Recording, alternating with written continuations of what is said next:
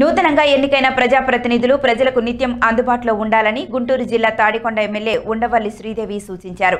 Phirangipuram MPDO కార్యాలయంలో MPP Shehel Nargis chamber ప్రారంభోత్సవానికి ఉండవల్లి శ్రీదేవి ముఖ్య అతిథిగా హాజరయ్యారు. ఈ సందర్భంగా ఎంపీడీఓ కార్యాలయ ఆవరణలో ఎమ్మెల్యే శ్రీదేవి మొక్కను నాటారు. అనంతరం ఆమె మాట్లాడుతూ పదవులు అలంకారప్రాయం కాదని ప్రజా సంక్షేమానికి గ్రామాల అభివృద్ధిపై ఫోకస్ పెట్టాలని సూచించారు.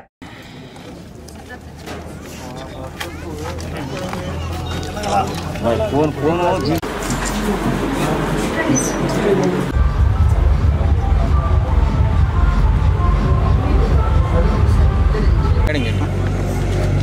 కొద్దిగా పక్కన ఉన్నాయా కొద్దిగా పక్కన ఉన్నాడా